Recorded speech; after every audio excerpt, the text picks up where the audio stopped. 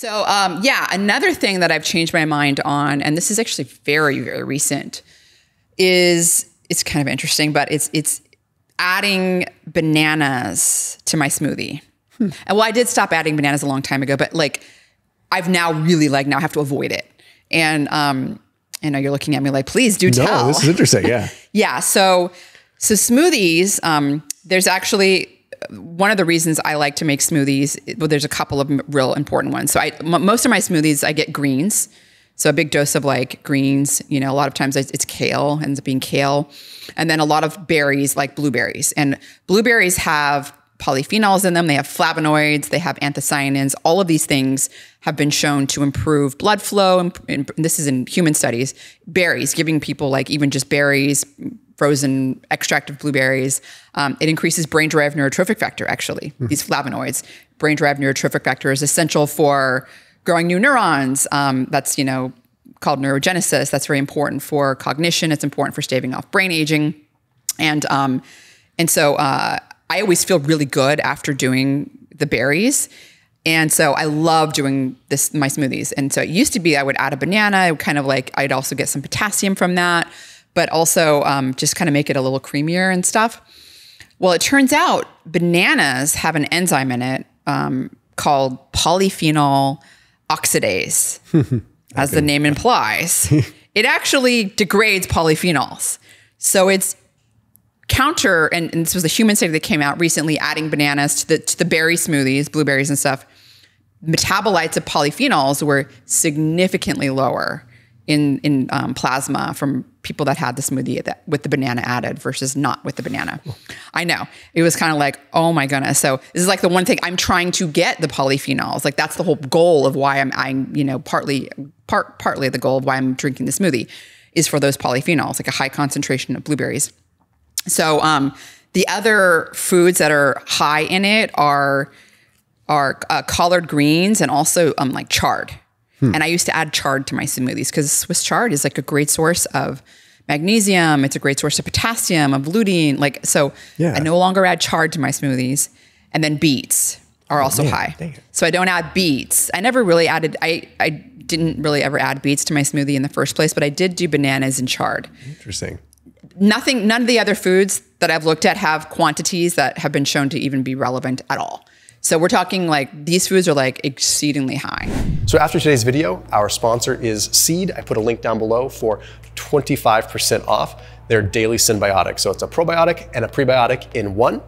So it has a really unique delivery system. So I am a fan of probiotics when you're making a change to like your diet or a lifestyle because it can kind of help remodel that gut microbiome to help you make that shift a little bit sooner. Now, full disclaimer, they're a sponsor on this channel. That's how this channel works. It's how we're able to create amazing content but my promise is that I only recommend products that I personally have used or currently use. So Seed down below, that is a 25% off discount link, again, for their daily synbiotic. I would probably guess that you'd notice a difference within about a week of taking it. Start noticing it digestively, you might start noticing it in other ways, but for me, I got more energy, I started sleeping better, things just seemed more regulated. So anyhow, that link down below, 25% off. And so like I said, again, you know, the anthocyanins, the polyphenols, the flavonoids, the flavonoid is a type of polyphenol that are in, for example, berries, blueberries, strawberries. These are they are beneficial. They've been shown to be beneficial in a variety of you know human studies, randomized controlled trials. Beneficial for cognition, um, for improving cardiovascular health, for improving blood flow to the brain in both young and older individuals, for increasing brain-derived neurotrophic factor, um, which of course exercise can do, omega three can do other things. But like this is, you know, this is something that you want from the berries. Yeah. And if you go to any smoothie place, literally every smoothie place, if you want to get a smoothie, there's like a banana in it. Yeah. And I think that that needs to change. Like that needs to be the banana needs to be taken out. And if you want a creamy sort of consistency to your smoothie, the avocado is the way to go because the avocado gives it to you. Its PPO levels, that's the polyphenol oxidase, mm-hmm. Like negligible. Yeah. Um, and it also has high in potassium. So then you're getting like what you wanted from the banana, but and then it has less sugar. Yeah. So I mean, it's just win-win, and it's got a little bit of fat, so it makes some of the carotenoids in the smoothie, like lutein and zeaxanthin. Um, it increases their bioavail- bioavailability up to fourfold, and these are things that are actually not just good for eye health, but they've been found to accumulate in the brain and they're they're associated with improved cognition. So there've been like studies where supplementation with it improves cognition. So that's cause and effect, right? But also there's been observational data people that have higher circulating levels of these what are called carotenoids. They're lutein and zeaxanthin. They're really high in leafy greens. Also, um, so adding again, adding the avocado, they're fat soluble. So adding the avocado increases their bioavailability. Well, people that have higher circulating levels of them have higher crystallized intelligence, like so when they're older. So again, and coming back to cognition as well. So it's really, um, you know, I think adding the avocado is a really good substitute for banana. It might be a little bit more expensive. Maybe that's why smoothie places don't do it. But I do think that it's something important to keep in mind because a lot of people that are getting smoothies now you still look look you go get a green smoothie it has a little bit of banana like you're still going to be getting magnesium you're going to be getting some lutein zeaxanthin you're going to be getting calcium you're going to be getting important micronutrients but if you have berries in there, the polyphenols, or if you're mixing a cacao smoothie with a banana, people do that. Like the cocoa has a high amount of flavonoids as well, which again improve blood flow to the brain. They increase brain-derived neurotrophic factor. That again should be avo- like do not add the banana to that because it degrades those polyphenols, and then wow. it's like I know it's like not having any. So um, that's another thing that I've really changed my mind on. I've mentioned BDNF a lot, so I did just come out with a free BDNF guide. Um, people can learn a, a, variety of protocols that can increase BDNF, including what I just mentioned, some of the the berry um, drinks and the cocoa oh, cool. doses and stuff, as well as exercise protocols, intensities and stuff. Um, so I have a free guide. You can find that at bdnfprotocols.com for anyone interested in like learning more about yeah. protocols for BDNF and increasing it as well. Sweet. Yeah, I'll link that down below as well. So, do you, do you happen to know if uh, like does does like with chard for instance, like does heating it possibly break down this enzyme? Because I mean, I don't know a lot of people that would eat like Swiss chard raw. I mean, maybe put it in a smoothie, which would be practical for this conversation. But like if I ever had it, it was usually like sauteed or something with a little bit of you know olive oil or something. I think it does. Uh, it is a heat sensitive enzyme, as far as I remember. Um, I don't know to what degree, but I mean, no one's cooking their banana. The banana is the major no smoothie source. No. no one, yeah, no one's cooking the banana.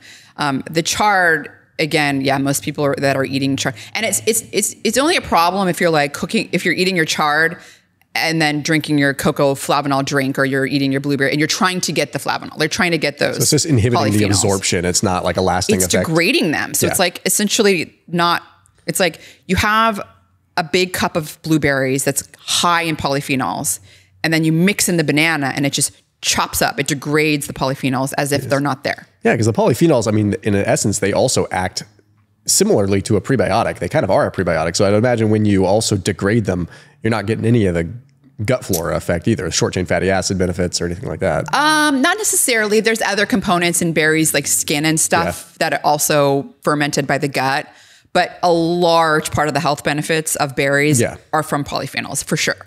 So it's it's definitely like it, for me it was like you know, and it really it, like it's just one study that just this is like a new a very like 5 months ago so it was so recent you know that it's like I don't there needs to be follow-up studies but I mean it was pretty compelling. And it was humans too? Yeah. Yeah, that's awesome. Yeah. Just I like, mean, I don't know that it's awesome, but well, it's, it's, like awesome it's good that, to like, know. To, to, I mean, because usually when you have these like kind of like almost esoteric seeming things like, oh, okay, this enzyme, you know, like, people might sensationalize online, but like this is actually out of a human study this that's human like study. legit. It's not like saying like, oh, don't eat apples because pectin's going to make your hair fall, you know, or something. Right. It's no, yeah. no, it's not connecting the dots. But I'll do. I will say they didn't like.